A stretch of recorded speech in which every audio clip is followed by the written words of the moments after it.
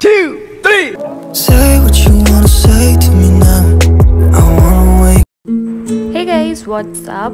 Welcome back to my channel. It's Hridya and today's video is on how to solve Polarr unsupported file problem. Three months from now, I made a video that was how to add Polarr filters in videos.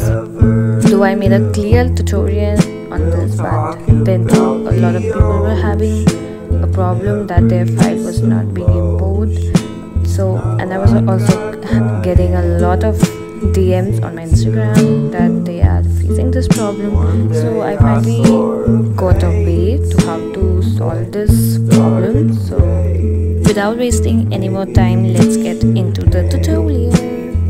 So guys now you're in my phone. So first step is go to google chrome and search polareditor.com to make it easier. I will put the link in the description so you can go check it out. So we'll tap on the first link. It's the tutorial which i have already sh- shown you guys in the previous video but i'm telling you again if by chance you have missed that video first of all you should be logged in. So tap on login and enter your details.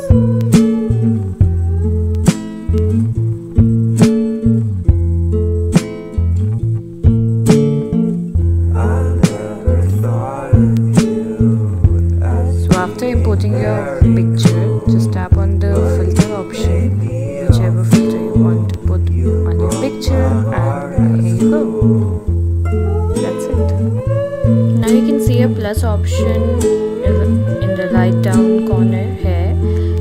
You just have to tap on this.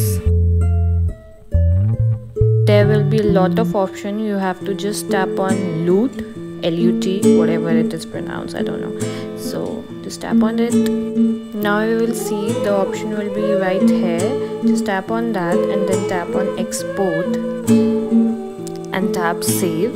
The picture will be imported to your files and now you're gonna open your file manager and tap on downloads.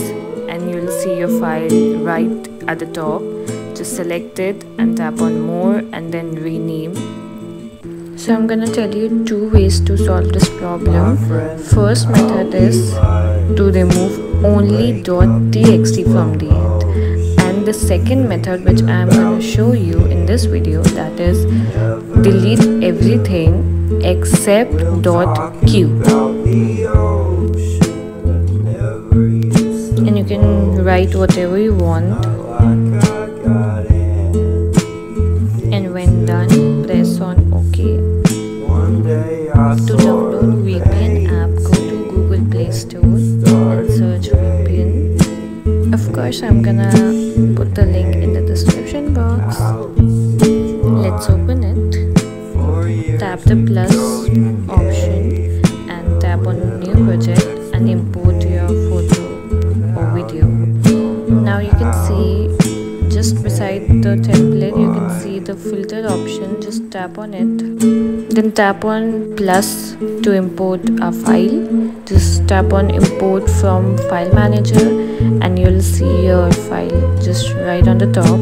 Just select it and here you go. It's successfully imported. Just go back and select the Polarr filter and you can see the filter is on your video.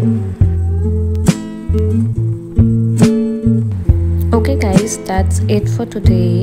If this video helped you the slightest don't forget to like share and subscribe to my channel. And you are free to comment whatever you want next so